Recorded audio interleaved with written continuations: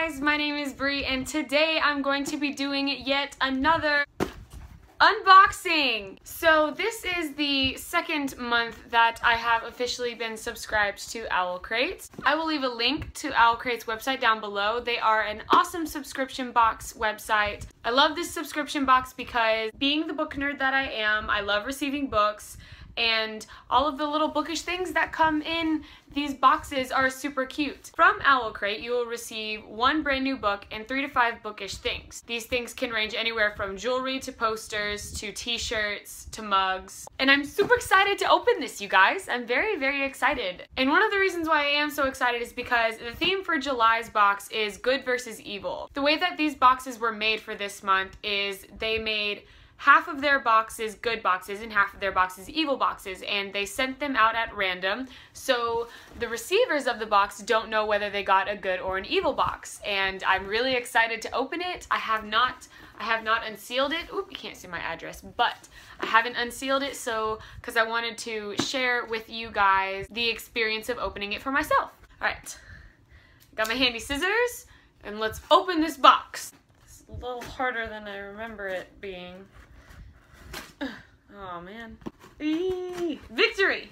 The card is typically always on top, but just like always, I'm to show you guys what's in the box first. Not looking like I thought it was the card. Okay. And I already love the first thing that I see. Oh my gosh. It's Dobby! It's Dobby from Harry Potter! Which also leads me to believe that my box is a good box, but let's see what's in the rest of it. We have this cute little vector engraving box. I don't really know how you say it, vector engraving. And it's from Etsy. Let's see what it is. oh my gosh! It's a Star Wars necklace! Look at that! Look at that! That's so cool! I don't even know if you can really see it. That's so cool. I love Star Wars. I love Star Wars. Yeah, there we go. Love it. Tiny little magnet bookmarks sent me one of these. it's Alice from Alice in Wonderland. I totally didn't even like recognize her at first. I mean, I had a small feeling, but I wasn't really sure because like, I don't know, my brain didn't put two and two together. And then there's a little quote on the back by Lewis Carroll says, I know who I was when I got up this morning, but I think I must have changed several times since then. Oh, this is so cool. I love magnetic bookmarks, and this is my little Alice in Wonderland one. A little fun fact about me, when I was little, I actually, like, every single time I would go to my grandparents' house, and you remember when, like, cassette tapes were, like, the biggest thing, and we had, like, the VCR and everything? Yeah, I made them play the Alice in Wonderland uh, cassette tape all the time. I mean, there isn't even really a number because as soon as it was done, I would ask them to rewind it. And you know that rewinding those things does not is not super fast. I mean, I would sit there with my finger on the rewind button and then play it all again. I mean, I still to this day know all the songs. I mean, I loved the original Alice in Wonderland. And then we have this super cute little sticker with a quote on it. I'm assuming the quote's from a book. I think it might be. I really don't know. I'm unfamiliar with this quote.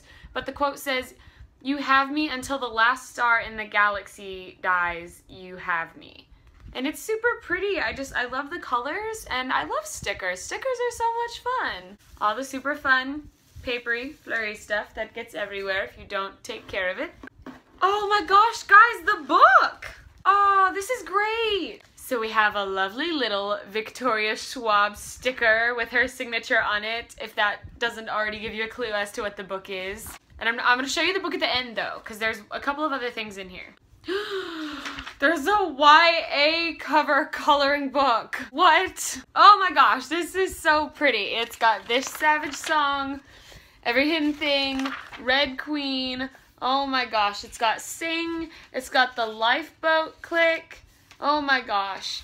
This is just, this is just, it's great. I love coloring. I love art. And this is super, this is a super little cute little addition to the box. I love how creative this is. So, if you have not guessed it already by the little Victoria Schwab signature sticker that is supposed to go on the inside of this book, which by the way is a book I've been wanting for a very long time. I'm very excited to read it. The book for the month of July is This Savage Song by Victoria Schwab. I've heard nothing but great reviews about this book, and especially from Jesse the Reader in particularly, whoa, in particularly, because he talks about how much he loved this book, and not only that, but this is one of those novels that does not have any romance in it, which is going to be great because half of the YA novels that I read, well, not even half, more like 80% of the YA novels that I read, they all have some kind of romance in them. So I feel like this one is going to be one of those, you know, those nice twists that doesn't have as much as a romantic twist on it, you know, because like the two characters in this book are really good friends. And I basically know close to nothing about this book other than the fact that it's really pretty. I mean, look at the look at the letters. Ooh, look at it naked. It's so pretty. It's one of those books that's like, you know, it's just your simple black book, but it's got the little imprint right there in the middle.